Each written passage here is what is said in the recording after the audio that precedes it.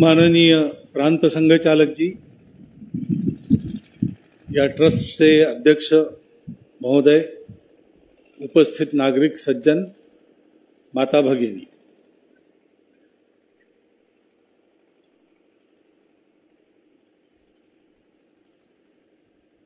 हिंदू जागरण का सुखद परिणाम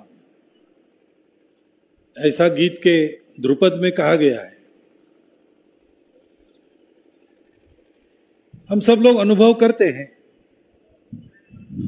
अपने देश के जीवन में और एक अच्छे परिवर्तन का समय आया है। विश्व में हमारी प्रतिष्ठा बढ़ी है। विश्व का ध्यान हमारे तत्वज्ञान और संस्कृति पर गया है। सारे विश्व को लगता है कि यहीं से हमको राहत मिलेगी। हम लोगों का राष्ट्रीय पुरुषार्थ भी बढ़ गया है। और इसलिए उसके स्वाभाविक परिणाम हमारे राष्ट्रीय जीवन से लेकर तो अपने अपने व्यक्तिगत जीवन तक सर्वत्र कुछ न कुछ मात्रा में हमको दिखाई देते हैं।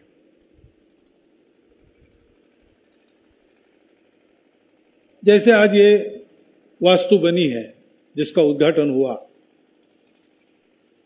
तो बहुत से कार्यकर्ताओं ने परिश्रम किए, बहुत से कार्यकर्ताओं का योगदान है। और वो उसका परिणाम आज साकार सबके सामने है। तो सबके हृदय में इसका भी आनंद है। इस आनंद को अनुभव करने वाले हम सब हैं। परंतु यह आनंद हमारे तक आ पहुँचा,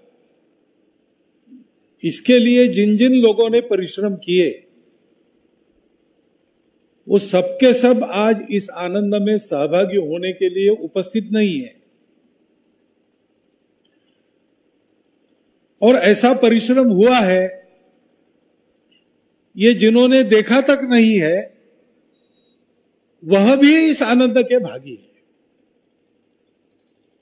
तो आनंद तो सबके लिए है, लेकिन आनंद वाले, आनंद लाने वालों के परिश्रम को सबने नहीं देखा। और इसलिए ऐसे आनंद के क्षणों में उनका स्मरण करना एक स्वाभाविक बात जैसे है, वैसे वो अत्यंत हितकारक बात है। कोई भी कार्य होता है तो उसके लिए परिश्रम करना पड़ता है। बिना परिश्रम के होता नहीं। कार्य संपन्न होने के बाद उसके लाभ तो सबको मिलते हैं, मिलने भी चाहिए। परंतु अगर वो ये ध्यान में रखे कि ये जो हो रहा है, इसके पीछे तपस्या है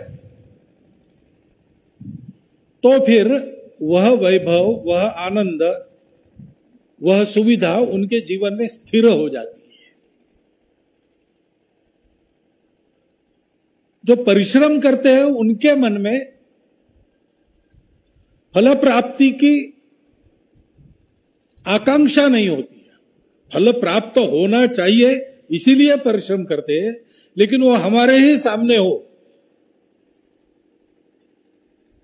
ऐसा उनका आग्रह नहीं रहता है। ये होना चाहिए। मेरे सामने नहीं हुआ तो मेरे बाद हो। सात्विक कार्यकर्ता ऐसे ही सोचता है। और इसलिए इस प्रकार फलाशा रहित होकर कर्म करने वालों की तपस्या अच्छे दिन लाती ही है। ऐसी तपस्या इसके पीछे है। एक शिकार में गया हुआ राजा और रास्ता भूल गया। अपने सेवकों सहित फिर वे एक झोपड़ी में पहुँचा। वहाँ एक महात्मा बैठे थे। उनको पूछा कि, भूख प्यास से पीड़ित हूँ और ये जंगल है तो कुछ दिख नहीं रहा है तो कहीं व्यवस्था हो सकती है क्या? तो महात्मा जी ने कहा कि वो सामने जो जंगल दिख रहा है, उसमें अंदर जाओ तो आपको वहाँ मिल जाएगा सब। तो राजा अपने सेवकों सहित अंदर गया।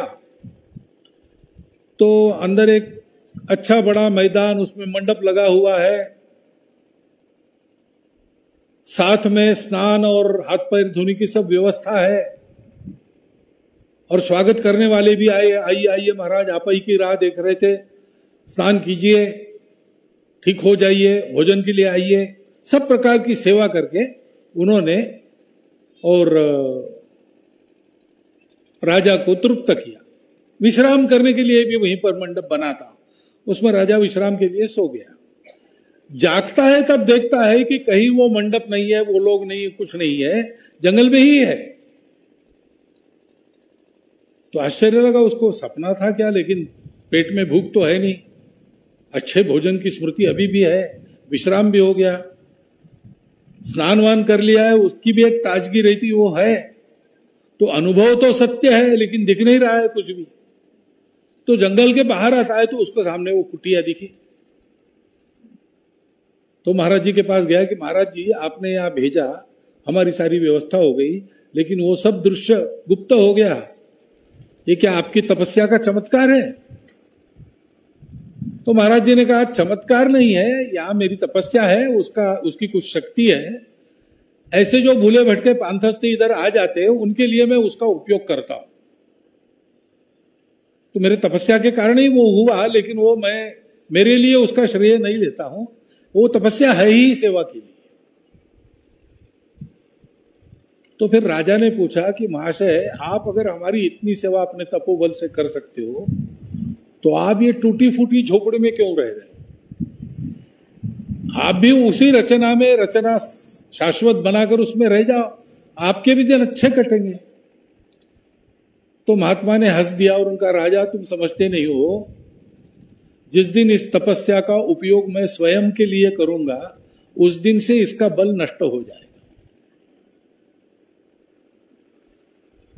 ये जो हम सुखद परिणाम कहते हैं किसी भी बात में, इस भवन के निर्माण में हो या आज के अपने देश की बदली हुई परिस्थिति में हो। इसके पीछे ऐसा निष्काम परिश्रम है।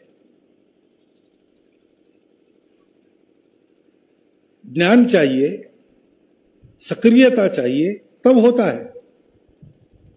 काम करना आसान बात नहीं, परिश्रम करना पड़ता है। शरीर, मन, बुद्धि से झीझना पड़ता है। और सोच के करना पड़ता है। उभाभ्याम एवं पक्षाभ्याम यथा खे भक्षणाम गति, तथैव ज्ञान कर्मभ्याम जायते परमम पदम। परम पद की प्राप्ति होनी है, श्रेष्ठ काम होना है तो जैसे पक्षियों की गति दो पंखों से रहती है ज्ञान और कर्म ये दो ऐसे पंख है जिससे परम प्राप्त होता है। परंतु ज्ञानी अगर है तो अहंकार हो सकता है। ज्ञान राम में भी था, ज्ञान रावण में भी था। लेकिन अंतर यह रहा कि रावण में अहंकार था।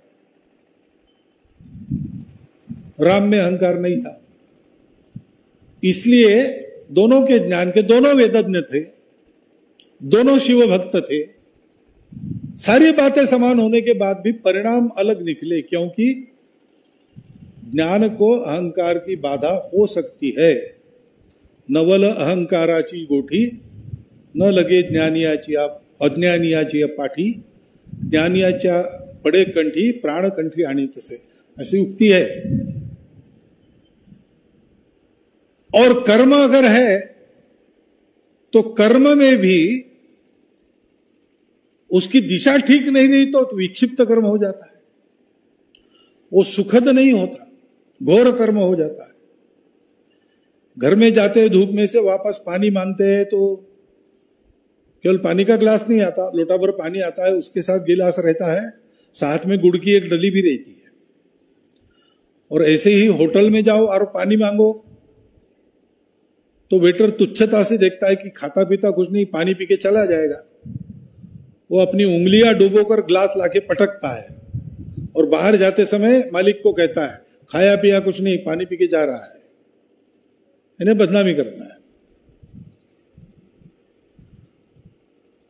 ऐसा नहीं होता है ज्ञान और कर्म के साथ प्रयास करने से सुखद परिणाम आता ये कब होता है? तो एक तीसरी बात है। उसको कहते हैं भक्ति।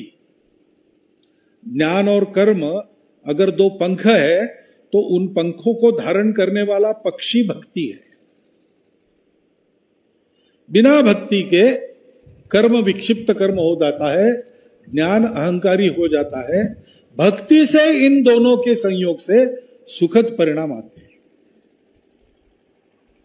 और उस भक्ति के घटक है, पहला है प्रेम, अपनापन। अच्छे पढ़े लिखे नौजवान, अपना करियर वगैरह सब छोड़कर संग बताएगा, वहाँ संग बताएगा, वो काम करने में अपनी ज़िंदगी खपा देते हैं। उत्तर से दक्षिण, पूरब से पश्चिम कहीं भी जाने के लिए तैयार रहते हैं। किसी भी दायित्व का वहन करने के लिए तैयार रहते हैं। जो दायित्व आया, उसके लिए अपने आप को योग्य बनाते हैं। अपनी रुचि अरुचि सबका त्याग करके क्यों करते हैं? तो उनको लगता है कि ये अपना देश है, अपना समाज है, अपना राष्ट्र है। इसको ठीक रखना, ठीक करना, ये अपना काम है। और वो मेरा पहला काम है, मनुष्य के नाते अपने लिए जीव तो पशु का जीवन होगा। अपनों के लिए जीव तो मनुष्य का जीवन होगा। ये अपनापन उस भक्ति का पहला घटक रहता है। और आदमी अपने अहंकार को छोड़ देता है। इतना बड़ा पुरुषार्थ, सामान्य से लगने वाले लोग हैं। लेकिन दुनिया हिल जाए, ऐसे पराक्रम एक एक का है। कितने ही घरों में उनके स्थान बने हैं, कितने ही मनों में उनके स्थान बने हैं। जो किया है, वो आज हम सुनते अथवा पढ़ते तो हमको आश्चर्य लगता है। ये ट्रेनिंग कहा हुआ? ये ट्रेनिंग की बात नहीं है। ट्रेनिंग में नहीं होता है। उस अपनेपन के कारण वो सदैव जुड़े रहते। अपना विचार ही नहीं रहता। मेरा क्या, मेरा कैसा ये नहीं रहता। सबका कैसे चल रहा है, सबका क्या ठीक है, सबका मैं क्या ठीक करूँ? मुझे भोजन मिला नहीं मिला, सबका भोजन हुआ कि नहीं? मुझे विश्राम मिला कि नहीं मिला, सबका विश्राम ठीक हो रहा है कि नहीं? ऐसा चिंतन में स्वयं को छोड़कर सबका चिंतन। चिंता करी तो विश्वाची ऐसी स्थिति हो जाती है, दूसरा कुछ सूझता नहीं। ये जुड़ जाना, भक्त होना या नहीं जुड़ना। और इसके फलस्वरूप तीसरी बात, भक्ति का घटक, वो है कि अपना सब कुछ वो अर्पण कर देता है। दान नहीं करता। त्याग नहीं करता। वो छोड़ देता है। दान करने में भी मैं दान कर रहा हूँ, किसी पर उपकार कर रहा हूँ, ऐसी भावना रह सकती, नहीं रहती। त्याग करने में भी मैंने अपना कुछ दिया। ऐसा आदमी सोचता है, वो भी नहीं रहता। त्वदीय वस्तु गोविंदम तुभ्यम एवं समर्पित। ये सब कुछ मिला है, वो इन्हीं सबसे मिला है। और जो मिला है, वो वापस देना है। अच्छी तरह देना है। बिना कारण मिला है। मैंने कुछ किया नहीं, तब से मिला है। और इसलिए देते समय दाम दुगना वापस करना। स्वप्न में भी वही देह पुनीत विचार रहता है। तो जो देना है, देने का अहंकार नहीं है, अपना दिया ऐसा भी नहीं है, एक स्वाभाविक बात है, ये नहीं करो तो क्या करो? यही तो करना है। इस प्रकार का एक स्वाभाविक अर्पण हो जाना, उसको कहते हैं समर्पण। प्रेम, भक्ति और समर्पण से मिलकर जो साधना बनती है, वो साधना, ज्ञान और कर्मों को धारण करके ये सुखद परिणाम लाती है। अभी बताया, दत्ता जी के परिचय। दत्ता जी भाले और समर्पण, ये दो समानार्थी शब्द है। भुवन को उसका नाम दिया है, उसके पीछे उद्देश्य है। यहाँ बैठे हुए लगभग सबका योगदान उस भवन को बनाने में है। लेकिन हम बना सके इसका कारण कौन है? इसका कारण वो समर्पण है।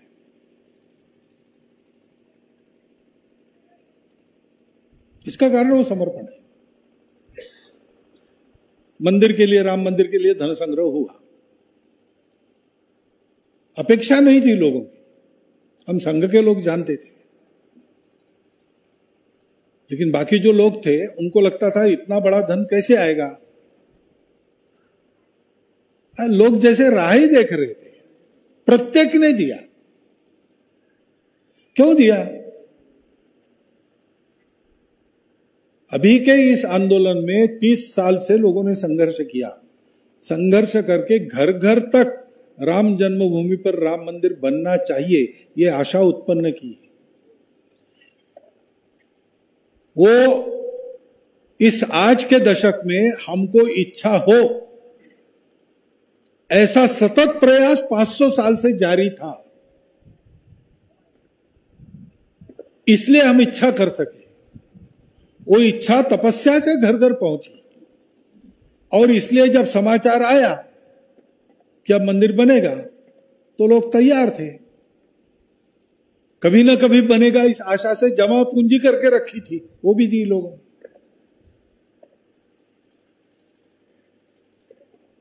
ये जो दिखता है, एकदम सारे देश का खड़ा होना, बाईस जनवरी को रामलली के रामलला के मूर्ति के दर्शन करते ही संपूर्ण देश गदगद हो गया। ये जो हमने अनुभव किया है, ये अपने आप नहीं होता है।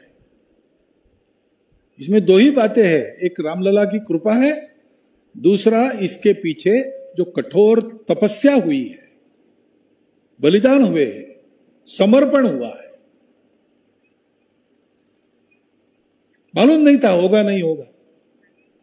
लेकिन होना ये उचित बात है तो उसके लिए बलिदान भी दे दिए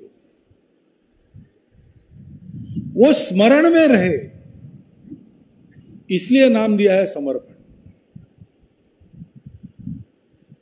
क्योंकि ऐसा बनता है, सुविधा होती है, साधन हाथ में आते हैं। तो पहले से काम आराम से होता है, ज़्यादा परिश्रम नहीं करने पड़ते। ये भवन है, इसमें एक कार्यक्रम हो सकता है 200-250 लोगों का। पहले अगर 200-250 लोगों का कार्यक्रम करना पड़ता था तो ढूंढना पड़ता था, ढूंढना पड़ता था, जगह मिलती थी। ऐसी मिल गई अच्छा है, नहीं तो पैसा देना पड़ता था। अब ऐसा नहीं है। अब एक स्थान है, आसानी से 200-250 लोगों का कार्यक्रम यहाँ हो सकता है। बाकी चिंता कुछ नहीं रहेगी। व्यवस्था का भार भी कम हो जाएगा, क्योंकि पहले से कुछ बना है। अच्छा है, ये होना चाहिए। तपस्या होनी चाहिए ज्ञान कर्म के साथ। इसका इसका अर्थ ये नहीं है कि बिना कारण हम अपने आप को घिसते रहे। साधन है तो उसका उपयोग करना चाहिए, उसके कारण कार्य की गति बढ़ती है। परंतु साधन के कारण कार्य की गति बढ़ती है और साधन आदत भी लगाता है अपनी। उसका लाभ यह है कि गति बढ़ती है। उसका नुकसान यह है कि वो अपनी आदत हमको लगाता है। पहले साइकिल और पैदल ऐसे जाना पड़ता था। हम सब लोगों का अनुभव है, अपनी दूर तक जाने की शारीरिक क्षमता बहुत अच्छी थी। अब हमको स्कूटर, मोटर कार की आदत हो गई तो जब तक अपने स्वास्थ्य के लिए डरते नहीं, तब तक हम वॉक नहीं करते। मरने के भय से ही चलते हैं। दो किलोमीटर, छह किलोमीटर जितना चलना है। लेकिन पास में भी जाना है तो स्कूटर लेके जाते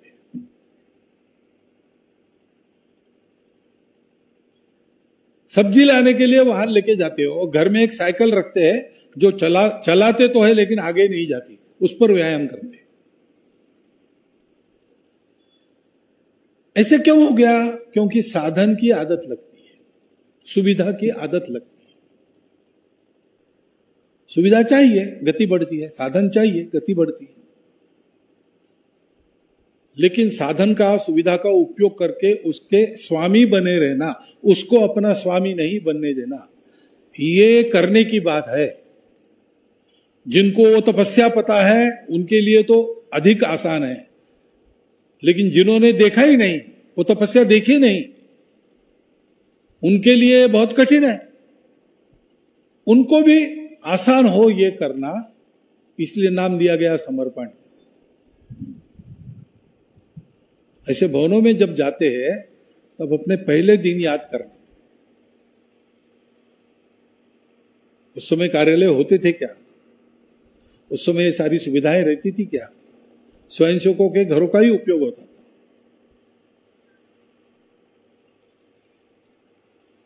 तो आज ये सुविधा बनी, इसका पूरा लाभ लेना, अच्छी बात है, उसका आनंद है लेकिन आनंद के समय में सावधान भी रहना।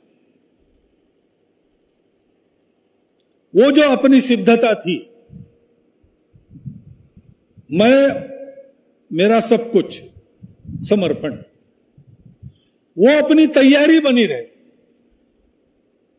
फिर यह साधन अपना सेवक बन के काम करेगा। आनंद का क्षण है, सबने परिश्रम किया है, उसके चलते एक स्वप्न साकार हुआ है, अच्छी तरह साकार हुआ है अच्छा भवन बना है। परंतु इस भवन का उपयोग हमको करना है। इस भवन के आदि हमको नहीं होना है। और दूसरी बात है कि ऐसे भवन जो बनते हैं, यहाँ छात्रावास रहेगा। अन्य भी कई बातें चलेगी समाज के उपयोग की। और संघ का कार्यालय भी इसमें रहेगा। तो संघ का कार्य क्या है? यही कार्य है। समाज में भक्ति और समर्पण जगाना। संघ का कार्य करने की आवश्यकता क्यों प्रतीत हुई संघ निर्माता को? तो उन्होंने देखा कि देश में सब कुछ है। संख्या है बहुत बड़ी। कर्तृत्ववान लोगों की संख्या है, बुद्धिमान लोगों की संख्या है। अच्छे त्यागी नेता भी है। परंतु कार्य फलद्रुप नहीं होते, पूर्ण यशस्वी नहीं होते। शाश्वत उपाय नहीं कर पाते बार बार करना पड़ता है। इसका कारण क्या है? हम लोग अपने आप को भूल गए। अपने आप को भूल गए, इसलिए अपने कौन है, उनको भी भूल गए। और हम में भेद और स्वार्थ की बीमारी लग गई।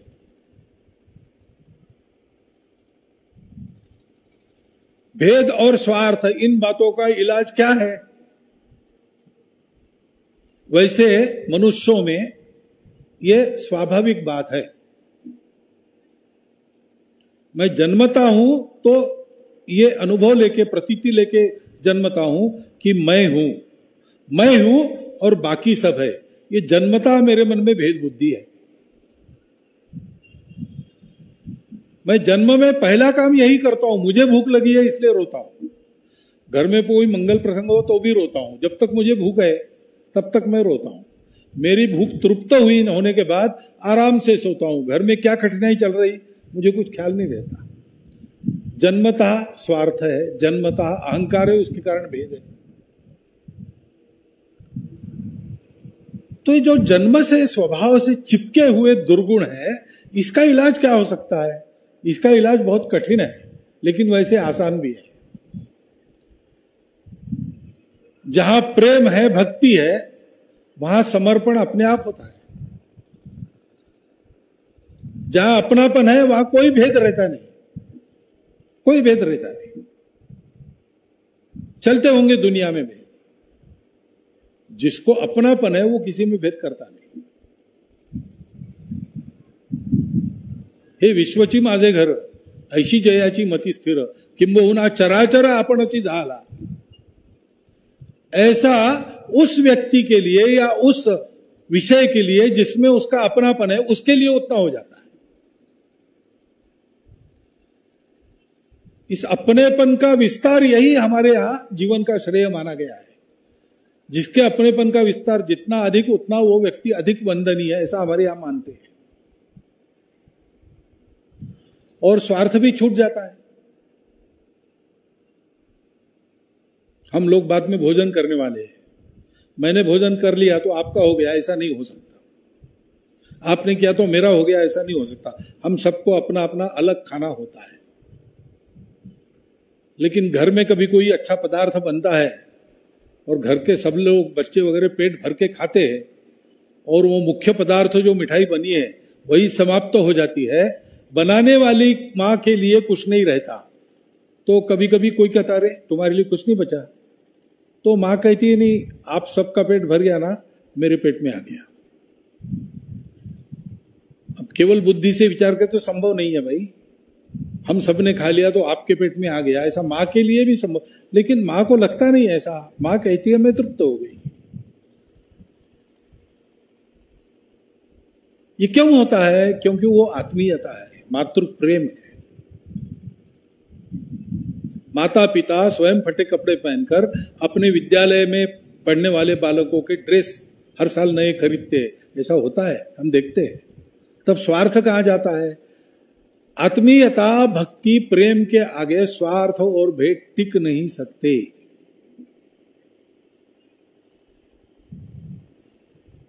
तो जहाँ ऐसा काम चलता है, जिस बिल्डिंग का नाम समर्पण है आज हम उसके निर्माण का आनंद तो कर रहे हैं, लेकिन आगे इसमें प्रवेश करने वाले व्यक्तियों को इन सब बातों का अनुभव होना चाहिए, प्रतीति मिलनी चाहिए। स्वार्थ और भेद जीवन से हटाकर सद्गुण संपन्न व्यक्ति के निर्माण के लिए संघ शुरू हुआ। भेद और स्वार्थ से जर्जरित समाज को भेद और स्वार्थों को नष्ट करते हुए एक रस, एक समाज बनाने के लिए समता युक्त शोषण मुक्त समाज उत्पन्न करने के लिए संघ शुरू हुआ। इन सब बातों का अनुभव, जहाँ संघ का कार्यालय जिसको कहा जाता है, उस वास्तु में सबको होना चाहिए। हम सबका योगदान उस भवन को बनाने में है। इसलिए एक अर्थ में हमारा भवन है। और हमारा भवन है उसके अंदर आने वाले को हमारा अनुभव भी मिलना चाहिए। यह हम सबका दायित्व है, बाद में भी। हमने आज एक कार्य संपन्न किया, उसके आनंद में यहाँ पर एकत्रित है। हर्ष को मनाएँगे, बहुत अच्छी बात है। परंतु यह भी भान रहना चाहिए कि ऐसा करके हमने एक नया दायित्व अपने सर पे लिया है। भवन तो बन गया, वातावरण हमको बनाना है भवन बनाने में भी हमारा परिश्रम लगा। वातावरण बनाना और बनाए रखना, इसमें भी वैसा ही परिश्रम हमको लगाना पड़ेगा।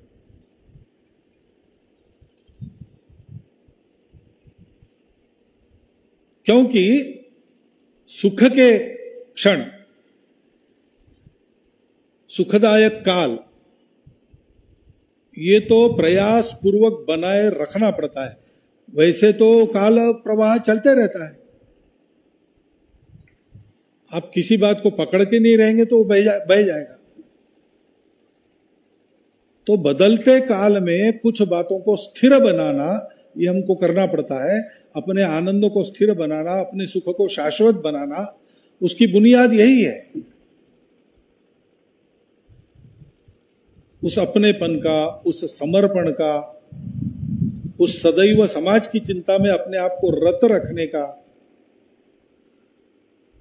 उसके कारण जीवन में निर्माण होने वाली पवित्रता, स्वच्छता, इसका यह सारा अनुभव जहाँ जहाँ पर ऐसे पूंजीभूत कार्य के स्थान होते हैं, वहाँ वहाँ मिलना चाहिए। कोई व्यक्ति जाके आता है, वो कहता है कि वहाँ का वाइब्रेशन बहुत अच्छा है। ये वाइब्रेशन क्या होता है? वहाँ के व्यक्तियों के सामूहिक आचरण के कारण वहाँ के वातावरण में ही एक प्रतीति आती है। ये प्रत्यक्ष है। वो यहाँ आनी चाहिए। तब तब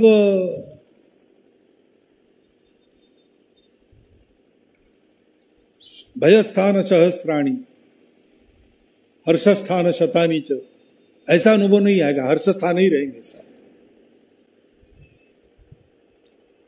उस हर्ष को बनाए रखने के लिए आवश्यक है। मैं आठवीं में था तब हमको एक अंग्रेज़ी की किताब में लेसन था। कहानी थी। एक सुल्तान था, उसका एक दीवान था। आयाज उसका नाम था। वो बहुत ही राजा को भी प्रिय था, लोगों में भी प्रिय था। बहुत कर्तृत्व संपन्न था, बहुत विनम्र था, बहुत बुद्धिमान था, सब काम बहुत अच्छे से कर लेता था। तो उसका बहुत नाम था, राजा का भी बहुत प्रिय था। दैना हाथ, उसके बिना राजा का पत्ता नहीं हिलता था।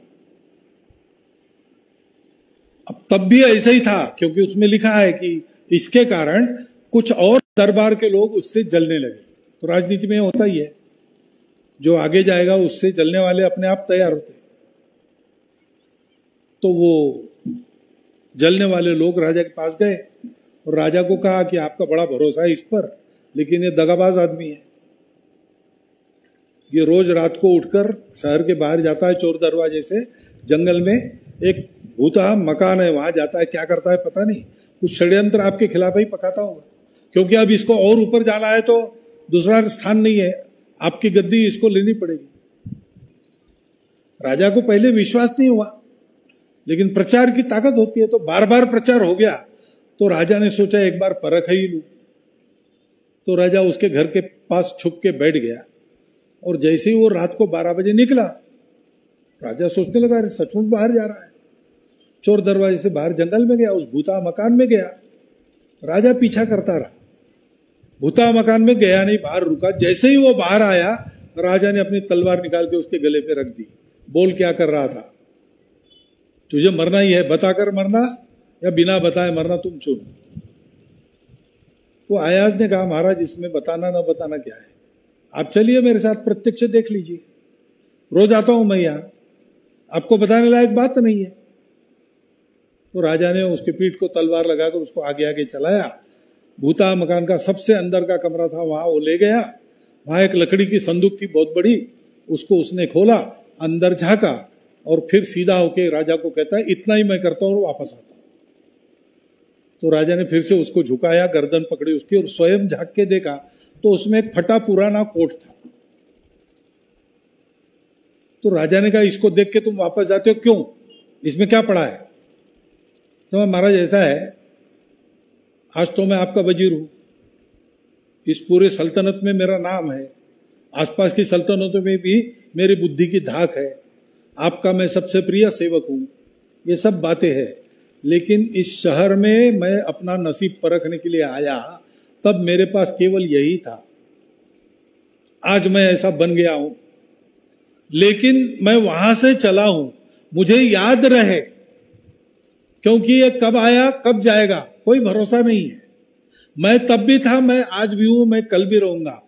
मैं जैसा था, ठीक था, वैसा मैं रहूँ। इसलिए रोज आके मैं इसको देखता हूँ और याद करता हूँ कि दिन ऐसे भी थे, लेकिन मैं जैसा था, उसमें निकल पाया। दिन फिर बदलेंगे तो मेरा ऐसा होना, यही मेरे काम की बात रही। सुख, सुविधा, दुख, कष्ट, ये सब आने जाने वाली बातें रहती है। मनस्वी कार्यार्थी गणयति न दुखम, न च सुखम। स्वर्गीय दत्ता जी ऐसे मनस्वी कार्यार्थी थे। उन्होंने सुख दुख की परवाह कुछ की नहीं। इमरजेंसी के दिनों में बीमार हो गए, उनका क्या उपचार हुआ पता नहीं। अंत्य विधि भी चुपचाप करना पड़ा। लेकिन उनको कोई फ़िक्र रही होगी ऐसा बिल्कुल नहीं है। क्योंकि जिस दिन वो प्रचारक निकले, उन्होंने अपने आप को दे दिया। अब मेरा जो कुछ होगा संघ तय करेगा। और संघ जो तय करेगा, वो ठीक ही करेगा। संघ कर, का, काम करते करते मेरा जो कुछ होगा, वो ठीक ही होगा। ऐसी सोच सब प्रचारक और लाखों स्वयंसेवक रखकर काम करते आए, इसलिए आज कार्य का ये स्वरूप खड़ा है। ऐसी भावना से प्रेरित होकर सब प्रकार के लोगों ने देश के लिए अनेक अच्छे अच्छे काम किए। इसलिए आज हम दुनिया का एक उभरता हुआ देश बनकर अपनी गर्दन सीधी करके दुनिया के सामने सीना तान के खड़े रह सकते हैं। कुछ लोगों ने उसको देखा है, कुछ लोगों ने नहीं देखा है। सत्तावन प्रतिशत देश की नई पीढ़ी है, उसको वो पता नहीं है। इमरजेंसी भी पता नहीं है। उसके पहले विभाजन पता नहीं है, स्वतंत्रता का संग्राम पता नहीं है। कैसे लोग थे, कितने ऊँचे, कितने गहरे थे, कैसा कैसा त्याग किया, देखा नहीं है, परंतु कुछ फटे पुराने कोट है, उनको अगर देखते रहेंगे तो आज की जो स्थिति परिश्रम से बनी है, उसको अधिक ऊँचा करना, अधिक आगे बढ़ाते जाना, बढ़ने की तो कोई सीमा होती नहीं। इतना आगे इतना आगे जिसका कोई छोर नहीं, जहाँ पूर्णता ही मर्यादा हो, सीमाओं की डोर नहीं। बढ़ना तो यात्रा है, पहुँचना पूर्णता तक है। पूर्णता तक पहुँचने का बल, यही सोच, यही समर्पण, यही नाम, यही दत्ताजी भाले जैसों के नाम, उनको वो प्रेरणा देंगे। और इसलिए आज के आनंद की जय हो, लेकिन उस समय आने वाले कर्तव्य की भी जय मन में रखकर हम इन सब बातों का विचार करके रहेंगे। ऐसा मुझे विश्वास है। आपके सामने और इतना सब कुछ मैं बोला हूँ, वो शांतिपूर्वक आपने सुन लिया, इसलिए आपका धन्यवाद करते हुए मैं मेरा भाषण समाप्त करता हूँ।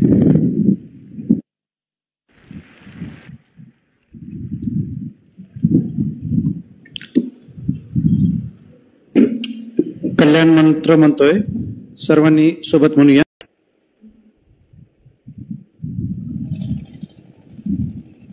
माननीय प्रांत संघचालक जी या ट्रस्टचे अध्यक्ष महोदय उपस्थित नागरिक सज्जन माता भगिनी.